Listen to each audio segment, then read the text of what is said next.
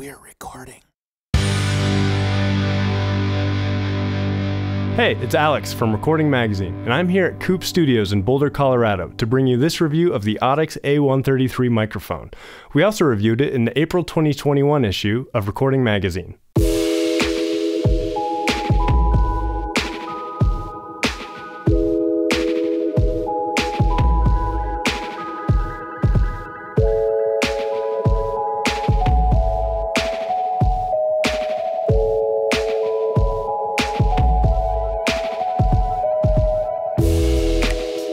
Headquartered in Oregon, Audix has been manufacturing microphones since 1984.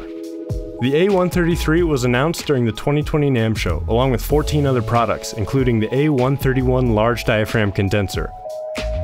The A133 has a fixed cardioid design. The only difference between this and its A131 sibling is the minus 10 dB pad and the bass roll-off switch on the body of the A133. Its capsule is 33 millimeters in diameter and features a gold sputtered 3.4 micron thick diaphragm. The aluminum body is machined at the Audix facility in Oregon and features an internal shock mount to isolate the capsule from stuff like mechanical vibrations and handling noise. This eliminates the need for a dedicated shock mount. As a steel mesh grill that's paired with a layer of ultra thin acoustic foam, helping to protect the diaphragm from plosives. The A133 has a frequency response that reaches down to 40 Hz and extends to 20 kHz. The rest of its specs are in line with what you would expect, with an impressive 150 dB of SPL handling when the pad is engaged. It also has a signal to noise ratio of 84 dB, and the bass roll off switch is located at 150 Hz.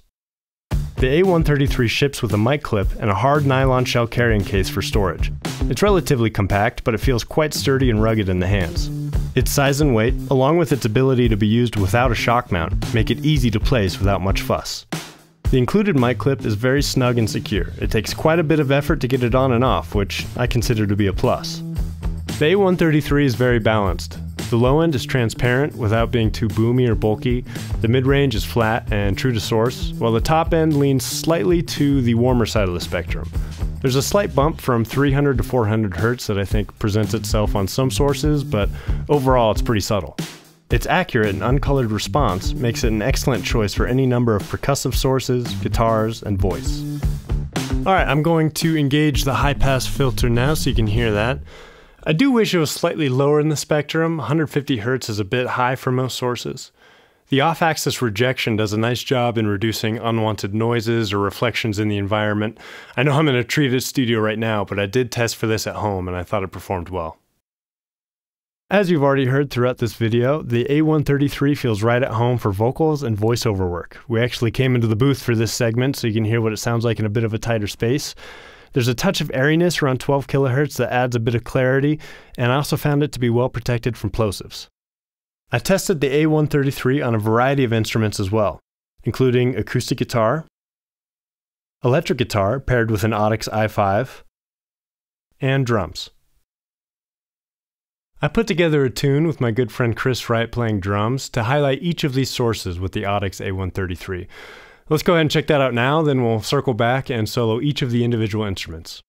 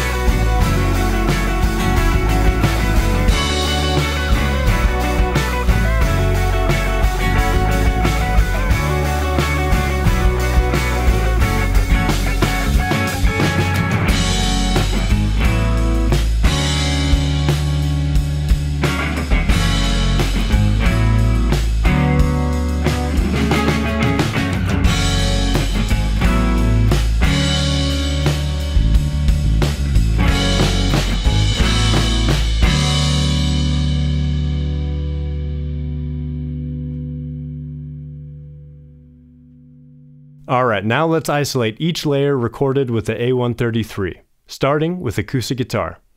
Acoustic guitar is my favorite source for the A133. While it feels a touch too polite for electric guitars on its own, that politeness feels right at home for the acoustic. It sounds rich and smooth with a clean lower mid-range.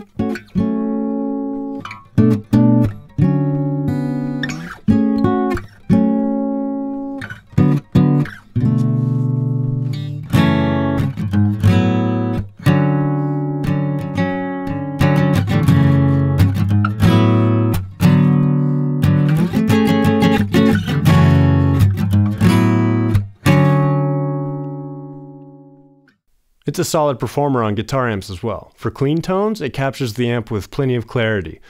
Sometimes, though, I do find it a bit polite on its own, which is why I also paired it with the Audix i5. This combination brings more punch and thickness to the tone.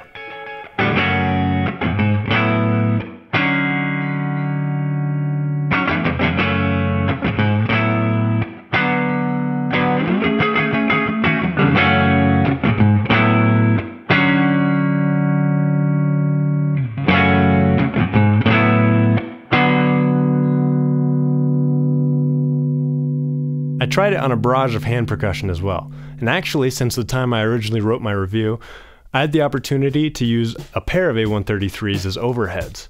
Across the board, it sounds full without being too bulky, and the slightly rounded top end is forgiving when it comes to recording cymbals.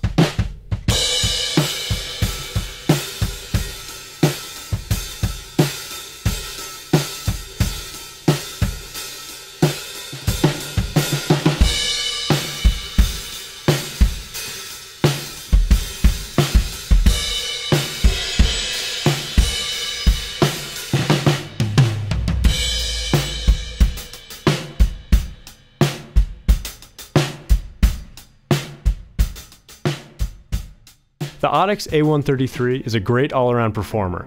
I like its smooth top end and transparent character, especially when it comes to recording acoustic guitars and drums. It retails for 499, or you could save 100 bucks and go with the A131 if you don't need the pad or high-pass filter switches on the body. To learn more, go to audixusa.com. You can also check out my written review in the April 2021 issue of Recording Magazine. If you enjoyed this video, please remember to like and subscribe. We update this channel frequently with video reviews, product comparisons, how-to videos, and more.